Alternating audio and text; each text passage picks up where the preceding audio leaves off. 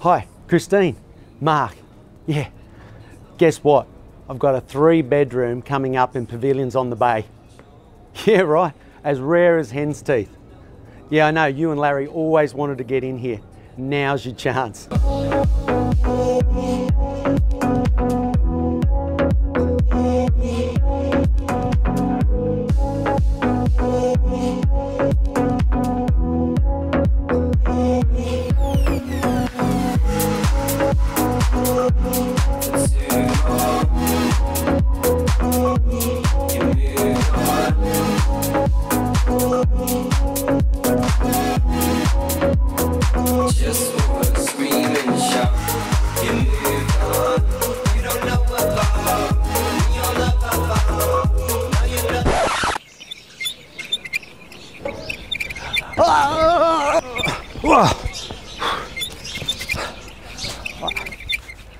Sorry about that, I was just showing this couple how wonderful the adjacent park is.